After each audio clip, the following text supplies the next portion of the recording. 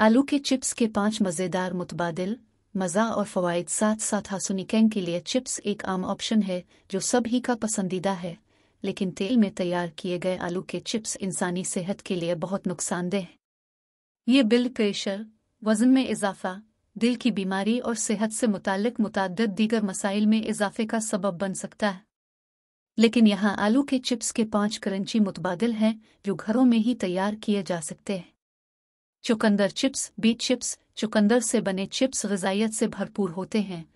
उनका मीठा और नमकीन जायका उन्हें शाम के स्नैक्स के तौर पर एक मुनासिब ऑप्शन बनाता है।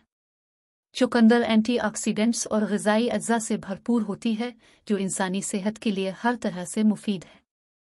शुक्रकंदी चिप्स, स्वीट पटेटो चिप्स, शुक्रकंदी फाइबर विटामिन और मदनियात से भरपूर होती है। शुक्रकंदी से बने चिप्स घरों में आसानी से तैयार किए जा सकते हैं। शुक्रकंदी को बारीक टुकड़ों में काट लें। इन्हें बटर पीपर पर फैलाकर उसे एयर फ्राई कर लें। नमक, काली मिर्च और दारचीनी पाउडर के साथ सीज़न करें। Zucchini chips zucchini chips zucchini chips जायके में लजीज और वज़न में हल्के जायके वाले होते हैं। उन्हें अपनी पसंद के किसी भी मसाले के साथ सीज़न करके लुत्फ उठाया जा सकता है। ये कैलोरीज में कम जबकि विटामिन और मदनियात से भरपूर होते हैं।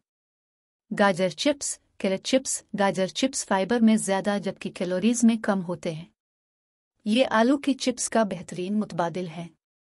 गाजर के चिप्स को दही या चटनी के साथ भी खाया जा सकता है।